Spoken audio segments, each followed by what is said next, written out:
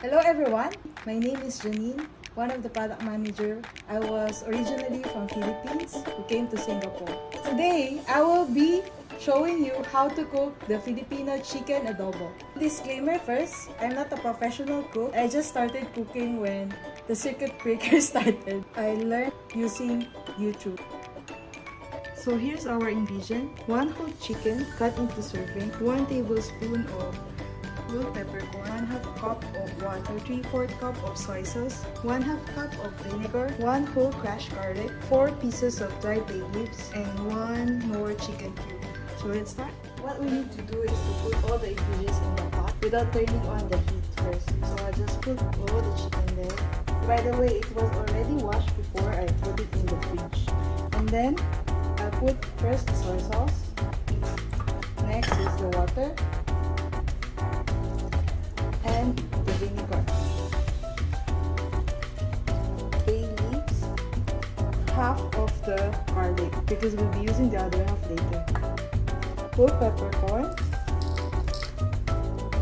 I will put more. Chicken Knorr where you can buy in any fair price grocery.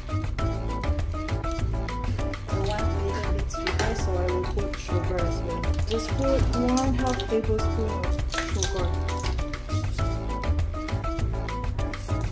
I turn on the fire, but you need to put it in stir and make sure all the chickens are submerged in the mixture. Cover it and wait for it to boil. So now let's check the status Chicken tender. We adjusted the taste based on our preference, so we added more sugar as well as more water because it's too sour for us. So it's really depending on your preference. Filipino chicken adobo is now ready. So I used the garlic I set aside a while ago. I just fried it and put it as a garnish. So finally, we can start eating. Chicken adobo is best together with rice. I put here one cup of rice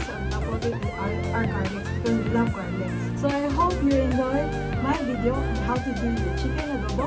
Put all your comments down below. Let me know what you think and enjoy. Nice.